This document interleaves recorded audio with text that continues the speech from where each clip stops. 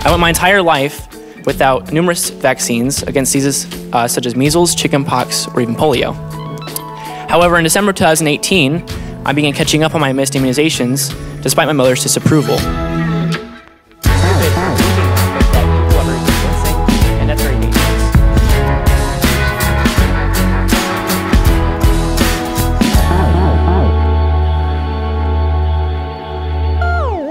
네, 워싱턴 상원 상임위원회 고등학생이 나와서 증언을 한다는 소식 자체가 꽤 큰 뉴스였습니다.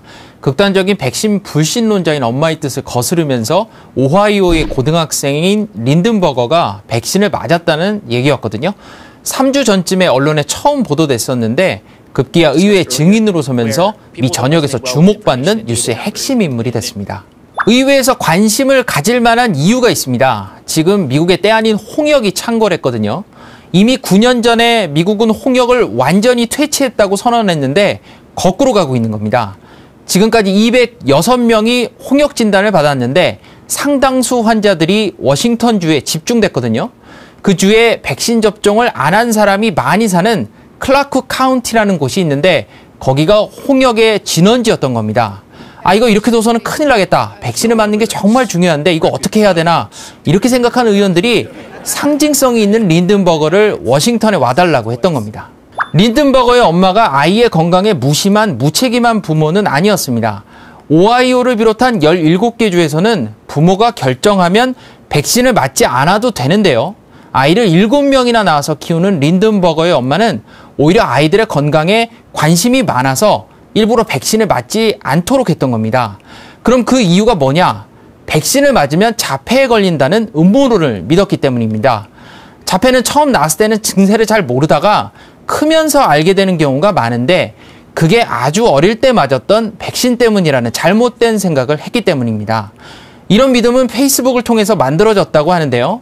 이른바 가짜 뉴스를 계속 접하다 보니까 백신이 위험하다는 걸 확신하게 된 겁니다.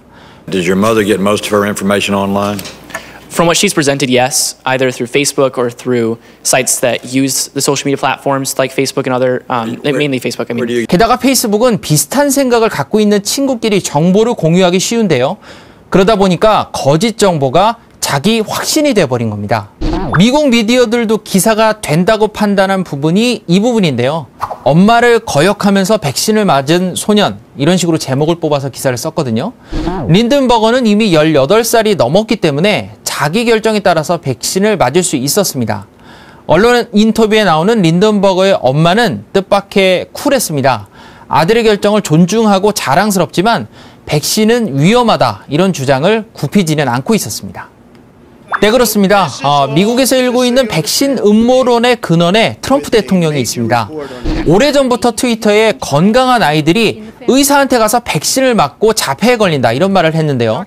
대선 후보 토론회에서도 이런 말을 거리낌 없이 했습니다. Two years old, two and a half years old, a child, a beautiful child, went to have the vaccine and came back and a week later got a tremendous fever, got very, very sick, now is autistic. 빌 게이츠도 이런 말을 들었다고 했는데요. 트럼프가 대통령이 되고 두 번을 만났는데 백신이 나쁜 거냐고 빌 게이츠에게 물었다는 겁니다. 백신 부작용을 검증하는 위원회를 만들겠다고 했는데 빌 게이츠는 속으로 뭐 이런 무식한 소리가 다 있어 이런 이렇게 생각을 했던 것 같습니다. 그렇게 하지 말라고 점잖게 충고해줬다고 어, 말을 했는데요. 이 백신 검증 위원회는 실제 가동이 됐는데요. 아직 이렇다 할 결과물이 나오지는 않았습니다. 이미 의학계에서는 백신의 효용에 대해서는 더 이상 검증이 필요 없을 정도라는 게 정설입니다. 어, 최근 덴마크 국립혈청연구소가 65만 명을 추적 조사했더니 백신을 맞은 사람이 자폐증에 걸릴 확률이 오히려 7% 낮다 이렇게 결론을 내렸습니다. 미 질병통제예방센터는 20년 통계를 내보면 백신을 맞아서 의료 비료만 2,950억 달러, 우리 돈 333조 원을 절약해줬다는 결과를 발표한 바도 있습니다. 좀 더 큰 틀에서 보면 이번 논란은 백신을 안 맞을 개인의 자유를 국가가 강제할 수 있냐 이런 문제와도 맞닿아 있습니다. 미국은 개인의 자유를 굉장히 강조하는 국가이기 때문에 이런 의무 접종 이런 거에 대한 거부감이 상당히 있는 게 사실인데요. 하지만 백신을 안 맞으면 다른 사람에게 전염병을 옮긴다는 점에서 개인의 자유를 무한정 강조할 수는 없습니다. 이미 홍역 창궐로 미국 사회가 말 그대로 홍역을 앓고 있는데요. 과학적 근거가 없는 백신 괴담은 결국 발붙이기 어려울 것으로 예상됩니다.